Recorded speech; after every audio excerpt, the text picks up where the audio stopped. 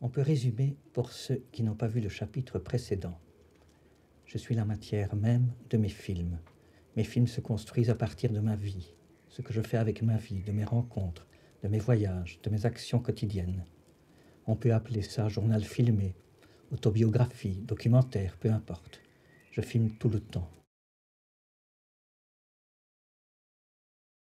Qu'est-ce que je filme et comment je m'y prends?